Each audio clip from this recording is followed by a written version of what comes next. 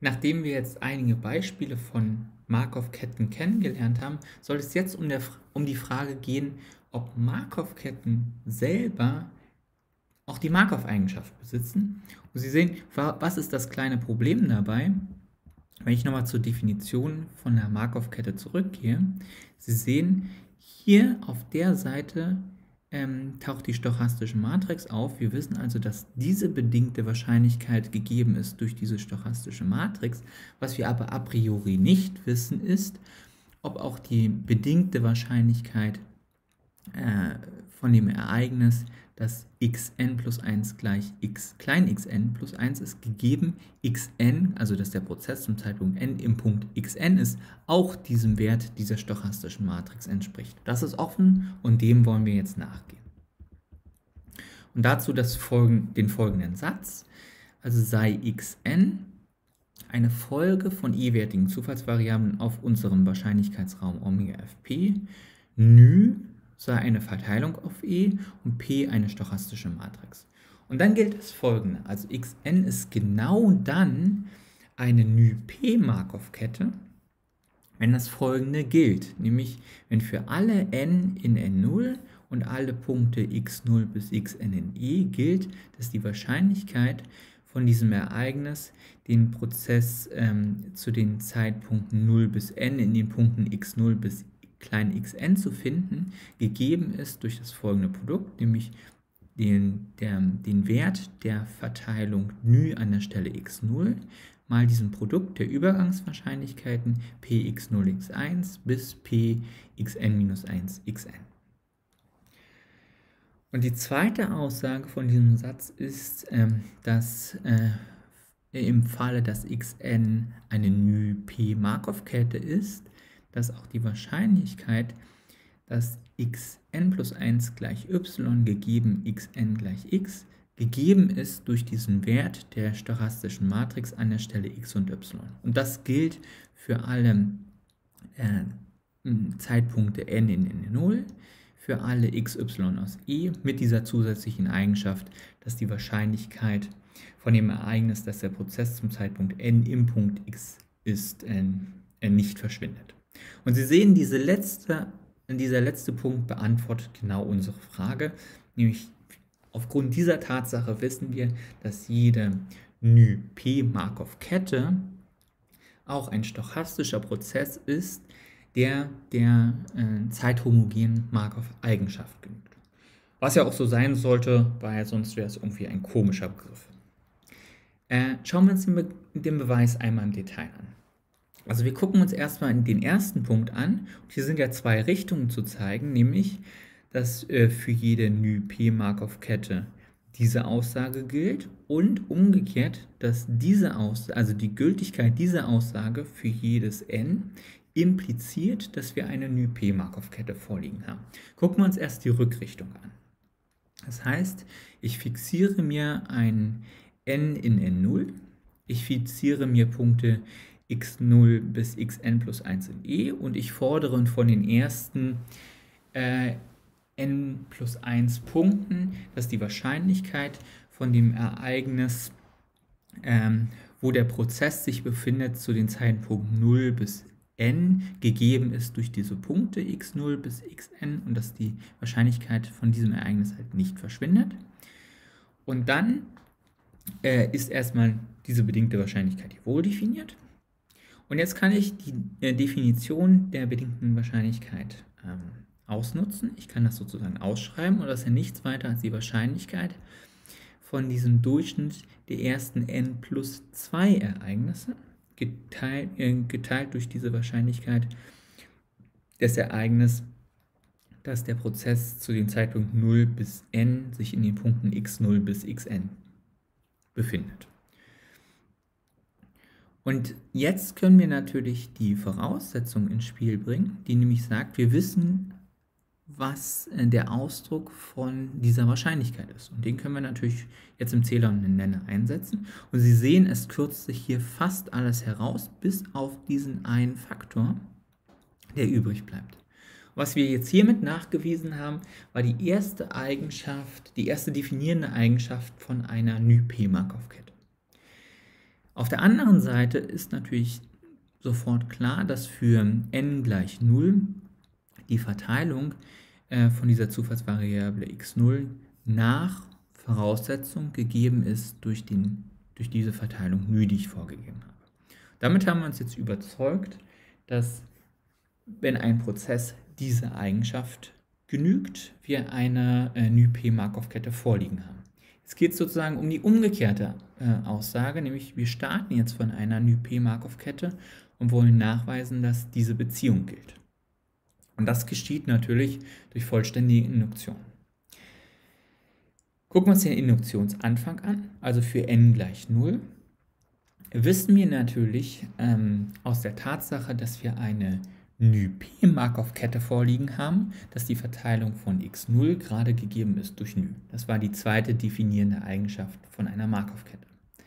Für n gleich 1 wissen wir auch, dass wenn ich mir die Wahrscheinlichkeit von dem Ereignis angucke, dass der Prozess zum Zeitpunkt 0 im Punkt x0 ist und dem äh, Ereignis, dass der Prozess zum Zeitpunkt 1 in dem Punkt x1 ist, das kann ich natürlich auch ausdrücken ähm, durch das folgende Produkt. Und das gilt halt nur im Falle von äh, dem, der Tatsache oder wenn ich sicherstellen kann, dass die Wahrscheinlichkeit von dem Ereignis, dass x0 in x0 ist, nicht verschwindet.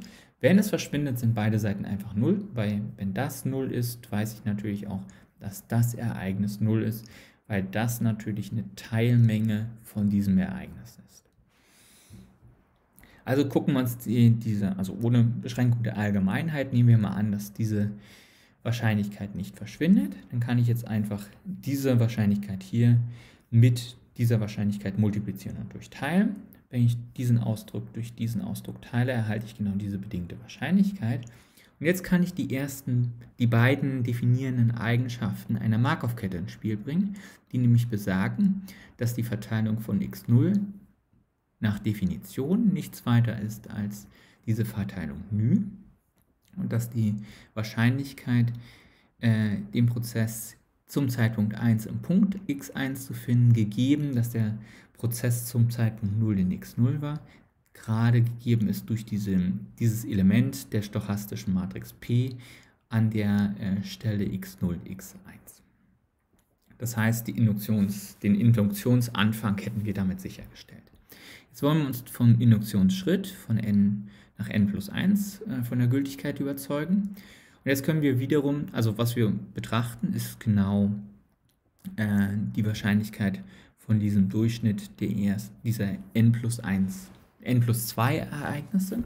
Wir können wieder annehmen, ohne Beschränkung der Allgemeinheit, dass diese Wahrscheinlichkeit ähm, äh, positiv ist, weil andernfalls äh, sind diese beiden Ausdrücke hier beide Seiten wieder 0. Und wenn ich jetzt sozusagen diese, diese Wahrscheinlichkeit hier wieder multipliziere ähm, und durchteile durch diese Wahrscheinlichkeit, kann ich natürlich diesen Ausdruck auch wieder umschreiben als diese bedingte Wahrscheinlichkeit. Und jetzt kann ich im ersten Schritt natürlich die Induktionsvoraussetzungen ins Spiel bringen, die mir erlaubt, die Wahrscheinlichkeit äh, von dem Ereignis, dass der Prozess zu den Zeitpunkten 0 bis n sich in den Punkten x0 bis xn befindet, sich gerade ausdrücken lässt als dieses Produkt aus der Startverteilung von dem, äh, an dem Punkt x0 mal den Komponenten der stochastischen Matrix an den Punkten x0, x1 und so weiter bis zu den Punkten xn-1, xn. Und jetzt hier im letzten Schritt kann ich natürlich wieder die erste definierende Eigenschaft von einem Markov-Prozess ins Spiel bringen oder von einer Markov-Kette ins Spiel bringen, die ja gerade sagt, dass diese bedingte Wahrscheinlichkeit nichts weiter ist als der Wert der stochastischen Matrix ähm, an der Stelle xn und xn plus 1. Und damit habe ich jetzt nachgewiesen, dass diese ähm, ähm, Aussage die wir hier zeigen wollten, für alle n gilt. Jetzt geht es noch um den zweiten Punkt. Im zweiten Punkt wollte ich diese Wahrscheinlichkeit äh, explizit berechnen. Hierzu fixiere ich natürlich erstmal ein n in n0. Ich fixiere mir zwei Punkte x und y aus E und ich nehme an, dass die Wahrscheinlichkeit, dass xn gleich x ist, ähm, positiv ist. Jetzt möchte ich, also erstmal kann ich das jetzt hier in die Definition der bedingten Wahrscheinlichkeit ausschreiben, die mir sagt, dass es nichts weiter als die Wahrscheinlichkeit äh, von dem Ereignis, dass der Prozess zum Zeitpunkt n in x ist und zum Zeitpunkt n plus 1 in y ist, geteilt durch die Wahrscheinlichkeit, dass der Prozess zum Zeitpunkt n in x ist. Das ist sozusagen hier etwas komplizierter geschrieben, weil ich noch hinzugefügt habe, ähm, das Ereignis, dass der Prozess x zum Zeitpunkt 0 in irgendwo im Zustandsraum ist, ähm, bis, ähm, und bis zu diesem Ereignis, dass der Prozess zum Zeitpunkt n-1 irgendwo in unserem Zustandsraum ist. Das sind natürlich keine Einschränkungen, weil das sozusagen immer der ganze Raum Omega ist, was hier steht, weil unser Prozess ja irgendwo ist. Also daher kommt diese Gleichheit zustande. Was ich jetzt natürlich machen kann, jetzt kann ich den ersten Punkt von diesem Satz benutzen. Wir wissen ja, wir haben eine NÜ-P-Markov-Kette vorliegen. Ich kann jetzt also sozusagen diese Wahrscheinlichkeit auch ausdrücken mit äh, dieser rechten Seite. Und das möchte ich tun. Was ich jetzt erstmal beobachte ist, ich kann das hier, diese äh, x0 in e, mit Hilfe von der Sigma-Additivität auch schreiben als die Summe über alle x0 bis xn-1 in e von dem Ereignis oder von der Wahrscheinlichkeit, dass der Prozess zum Zeitpunkt 0 in x0 ist, bis äh, zum Zeitpunkt, dass er zum Zeitpunkt xn-1 im Punkt, Kleinpunkt xn-1 ist, dass er zum Zeitpunkt n in klein x ist und zum Zeitpunkt n plus 1 in y ist. Und jetzt kann ich natürlich diese, ähm, diesen Ausdruck, den wir soeben bewiesen haben, einsetzen. Das kann ich im Zähler und im Nenner tun. Und was ich jetzt, wenn ich genau hingucke, ähm, hiermit erreicht habe, ist, diesen Ausdruck, der hier übrig bleibt, dieser letzte Faktor, hängt gar nicht von den Summationsvariablen ab. Sprich, ich kann den hier auch aus der Summe herausziehen. Und dann sehe ich, steht im Nenner und im Zähler genau das gleiche. Das kürzt sich also komplett raus. Es bleibt nur übrig äh, genau äh, dieser Wert, pxy. Und damit haben wir genau das gezeigt, was wir zeigen wollten, nämlich dass auch diese bedingte Wahrscheinlichkeit gerade durch den Wert der stochastischen Matrix an der Stelle x und y gegeben ist. Hier eine kleine weitere Anwendung aus genau dieser, äh, aus diesem letzten Satz. Wenn ich mir vorgebe, eine äh, NÜ-P-Markov-Kette, die ich wieder mit x bezeichnen will, auf meinem Zustandsraum E, dann kann ich natürlich auch einen Ausdruck finden für die Wahrscheinlichkeit, den Prozess zum Zeitpunkt n im Punkt x zu finden.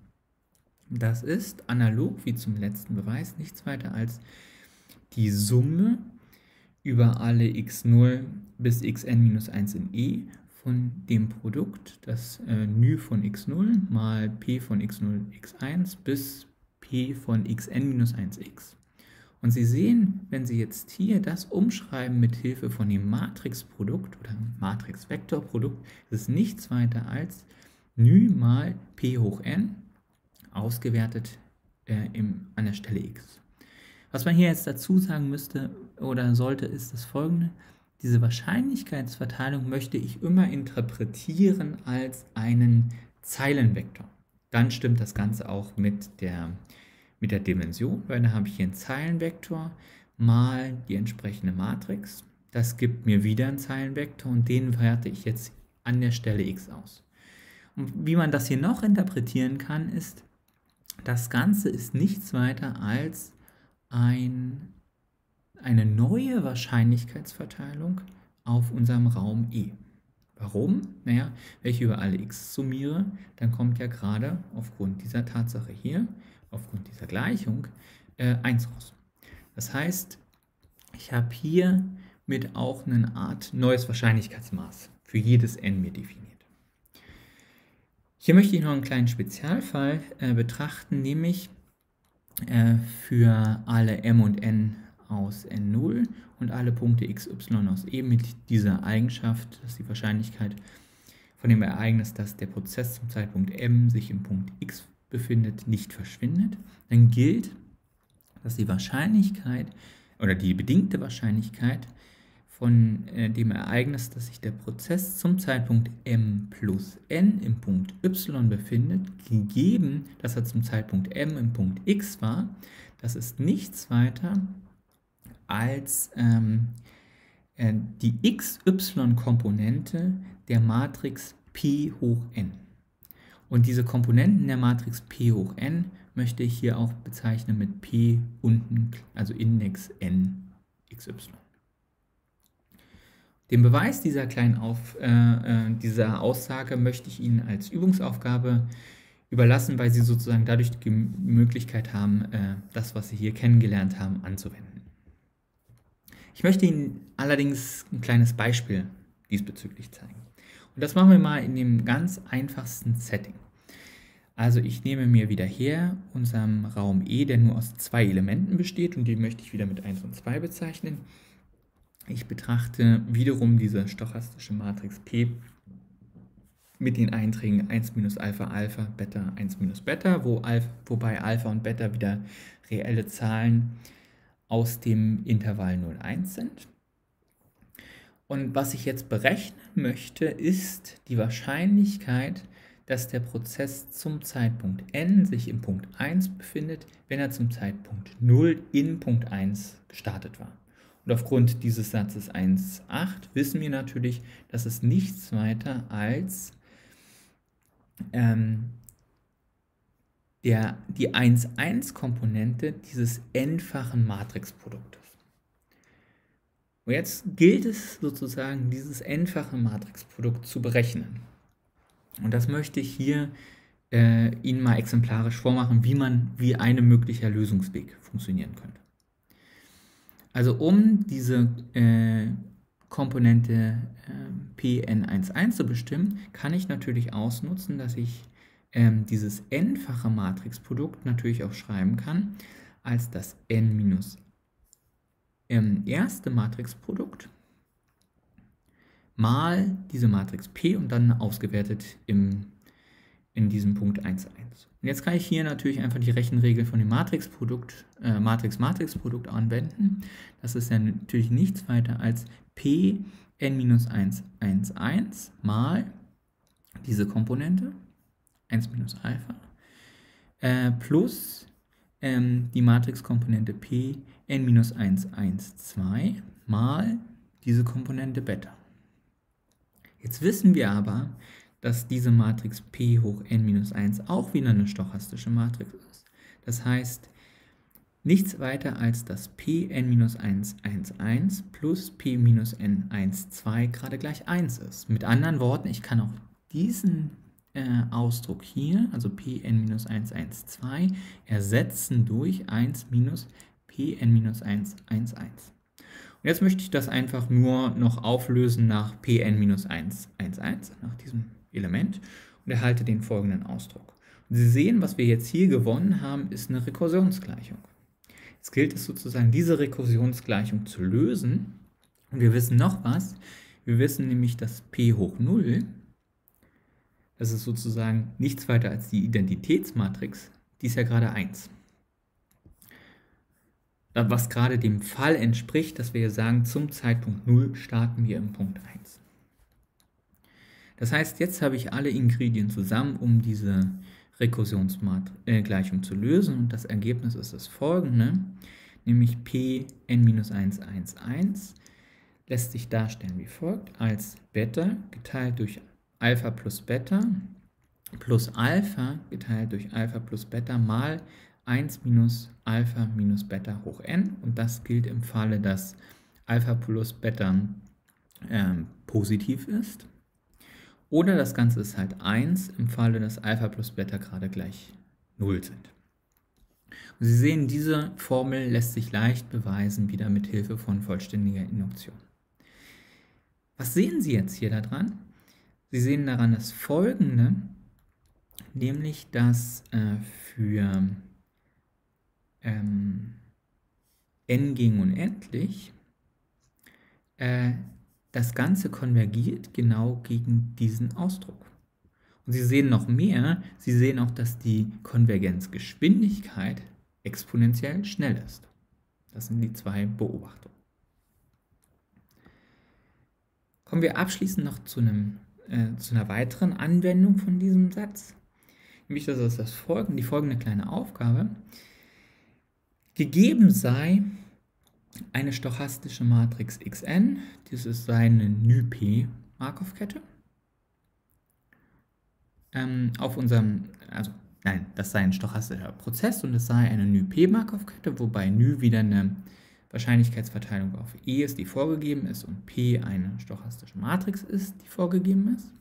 Und weiterhin gebe ich mir vor, eine Folge von unbeschränkten, monoton wachsenden äh, äh, Elementen. Das heißt, Rn ist monoton wachsen und unbeschränkt. Und jetzt definiere ich mir eine neue Folge yn gerade dadurch, dass ich sage, das ist nichts weiter als x von Rn. Und ihre Aufgabe ist, nachzuweisen oder nachzurechnen, dass auch yn wiederum eine Markov-Kette ist und anzugeben, was ist denn die Startverteilung und die Übergangsmatrix. Gut, ein kleines Korollar äh, zu dem folgenden Satz, also zu diesem Satz 1.8 ist das folgende, nämlich wenn ich mir eine äh, NyP-Markov-Kette x vorgebe auf meinem Zustandsraum E und ich gebe mir vor, äh, zwei ähm, ganze Zahlen, also zwei Zahlen m und n aus n0, ein Punkt x aus e und eine Funktion f auf e mit Werten in r, die beschränkt ist, dann gilt das folgende, nämlich dass der Erwartungswert von f von x m plus n gegeben, dass der Prozess zum Zeitpunkt m sich im Punkt x befindet, nichts weiter ist als dieses äh, Matrix-Vektorprodukt äh, zwischen dieser äh, ma äh, stochastischen Matrix P hoch n und äh, dieser Funktion f, ausgewertet an der Stelle x. Und insbesondere gilt, dass der Erwartungswert von f von xn nichts weiter ist als ny mal p hoch n mal f. Jetzt müssen wir nur kurz noch diskutieren, dass das von den Dimensionen her stimmt. Also Funktionen möchte ich im Gegensatz zu äh, Verteilung interpretieren als einen Spaltenvektor. Und in dem Fall macht dann hier dieses Matrix-Vektor-Produkt auch Sinn. Also ich erhalte dadurch wieder einen Spaltenvektor und den werte ich in der x-ten Komponente aus. Und Sie sehen, es macht auch wunderbar Sinn, was wir hier geschrieben haben, nämlich Ny war ein Zeilenvektor, Pn ist diese Matrix, f ist ein Spaltenvektor. Sie erhalten hier aus diesem äh, Vektor-Matrix-Vektor-Produkt äh, gerade wieder eine reelle Zahl, was wir auch erwarten. Und der Beweis hiervon ist relativ einfach, nämlich er beruht auf der folgenden Beobachtung, dass wenn ich diesen Erwartungswert von f von xm plus n gegeben, dass der Prozess zum Zeitpunkt m in dem Punkt x ist, das ist ja nichts weiter als die Summe über alle y aus e von der Funktion f von y multipliziert mit der Wahrscheinlichkeit, dass sich der Prozess zum Zeitpunkt ähm, m plus n im Punkt y befindet, gegeben, dass er zum Zeitpunkt m im Punkt x war. Und jetzt sehen Sie, das Ganze ist ja aufgrund von diesem Satz 1.8 nichts weiter als dieses n-fache äh, Matrixprodukt. Das heißt, wir können das hier einsetzen und erhalten genau hier die Aussage, die wir haben wollten. Und analog funktioniert das Ganze für diesen Erwartungswert von der Funktion äh, zum Zeitpunkt oder an der Stelle xn. Auch dieses kann ich wieder umschreiben als die Summe über alle x aus e, f von x mal der Wahrscheinlichkeit, dass der Prozess sich zum Zeitpunkt n im Punkt x befindet. Und jetzt, wenn ich jetzt hier wieder zurückgehe und gucke, das war ja nichts weiter als gerade dieses äh, Vektor-Matrix-Produkt ausgewertet an dieser Stelle x. Und wenn ich das einsetze, sehe ich, ich erhalte genau diesen Ausdruck, den ich gesucht habe. Das Einzige, was man hier sich noch im Vorfeld überlegen muss, ist nämlich, dass ähm, diese Reihen, die wir hier hingeschrieben haben, auch wohl definiert sind. Das ist aber durch, aufgrund folgender Tatsache gegeben, dass nämlich der Erwartungswert, zum Beispiel hier im zweiten Fall, äh, von dem Betrag von f von xn äh, endlich ist, aufgrund der Tatsache, dass ich hier einfach das Supremumsnorm rausziehen kann von f. Was ich hier übrig behalte, ist die 1, der Erwartungswert von 1 ist 1. Und wir wissen nach Voraussetzung, dass diese, dieses Supremum über alle x aus e von f von x endlich ist, da ja die Funktion f aus L unendlich e ist. Was haben wir jetzt hier erreicht? Wir haben sozusagen kennengelernt den Begriff der Nype-Markov-Kette und wir haben gesehen, dass eine 1 zu 1 Beziehung steht zwischen einem zeithomogenen, äh, also zwischen einem stochastischen Prozess, der der zeithomogenen Markov-Eigenschaft genügt. Und auf der anderen Seite haben wir ganz viele charakterisierende Eigenschaften von, ähm, von einer Nype-Markov-Kette kennengelernt mit Hilfe der stochastischen Matrix. In der nächsten Vorlesung soll es darum gehen, äh, diese Definition, diese Markov-Eigenschaft äh, zu verallgemeinern in die Zukunft herein und eine Aussage dazu, darüber zu treffen, wie der Prozess in der Zukunft und in der Vergangenheit miteinander zusammenhängen.